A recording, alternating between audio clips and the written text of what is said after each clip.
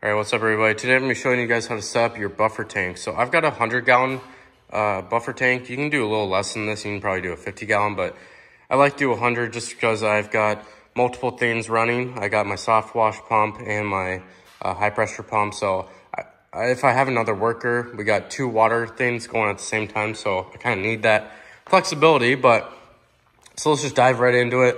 Um, first thing you're gonna wanna get is a Hudson float valve. So if I open this up right here, you can see it right in there. So what a Hudson float valve is, it basically, once the water, once you're filling up your tank, once it uh, goes up to a certain level, I think one those uh, circles right there, it cuts off the water so it doesn't overflow, which is really good. So how to set up a Hudson float valve. All you do is drill, see I kind of messed mine up, so you're gonna wanna do it a little differently, but you're gonna wanna drill a hole in your uh, buffer tank and you're gonna get a bulkhead fitting. So bulkhead fitting, if you guys don't know what they are, they are, they usually come with the tanks. They're right, those black things right there. Um, I also have one in my SH, sorry, I have one in my SH tank that I covered. So that's a bulkhead fitting. You can buy them at Home Depot um, or any other uh, uh, hardware store. So that's how you're gonna connect it. So it's, you screw it in kind of, and then you're gonna get like a half inch um, to hose barb fitting that um, will go to your hose reel. So this is how you uh, fill up your water. Uh, once you get to a property, you connect your uh, spigot, connect to their spigot. Now you don't need a hose reel, but I highly recommend one. It saves you a bunch of time. Um, but yeah, so I have the General Pump hose reel. These ones are the best I've ever found. So yeah, I have 250 feet, a Flexzilla 5 ace, hook it up to their house. That feeds to my, um, you can kind of see it, my filter right there, which just goes to my Hudson float valve. So that's how the water gets into the buffer tank. Now, I have a proportioner um, for my soft wash system, so I built myself a drop stick uh, just to get the water through it. And drop sticks are pretty easy to make too. You just get a half inch um, PVC pipe and get a threaded uh, 90 degree elbow and connect that to your, your proportioner or um, whatever else you want to connect it to. So yeah, moving over here. So this right here, you just drill a little hole. This is for the water that um, kind of cycles. You don't want your water to cycle. So this usually is connected to a, a place down here.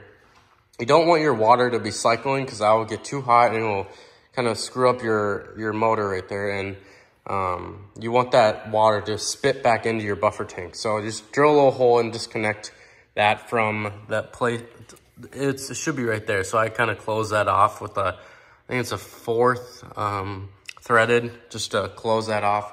And then, yeah, drilled a little hole and it goes right into there.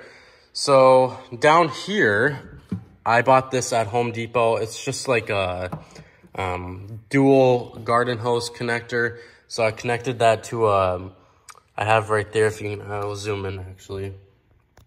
I have a, a threaded male to male garden hose barb. So that connects to the inside of my Hudson, or my, um, this piece right here, I forgot, the bulkheads, bulkhead fitting, sorry.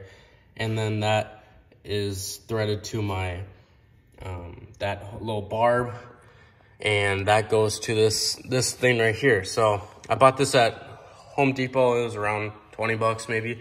But what it does is this lever right here, if I turn this on, it will uh, start feeding water to my pressure washer. So, um, yeah, so turn that on before you start your pressure washer always.